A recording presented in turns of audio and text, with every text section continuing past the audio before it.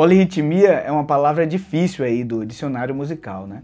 Mas na prática ela acontece o tempo todo, com quase tudo que a gente está tocando, né? A não ser quando você está ouvindo somente um ritmo isolado, a polirritmia está presente em muitas das coisas que a gente toca e a gente ouve no dia a dia. Mas a polirritmia, como todos os assuntos relacionados à música, é um assunto de uma profundidade muito grande, né? É muito densa, tem muitas e muitas possibilidades em torno do ritmo e das opções polirrítmicas né, que esse assunto oferece. O baixista paulista Bruno Migoto, que eu tenho um orgulho enorme de chamar de amigo, ele tem uma série de vídeos sobre esse assunto no canal dele do Instagram e do YouTube, super organizado e didático sobre esse assunto. Lá o Bruno faz diversos vídeos sobre o assunto, exemplificando ritmos sobrepostos, né? Você tocando um 3 sobre um 4, um 4 sobre um 5, que é super interessante de você ouvir, ele coloca na prática em diversos instrumentos.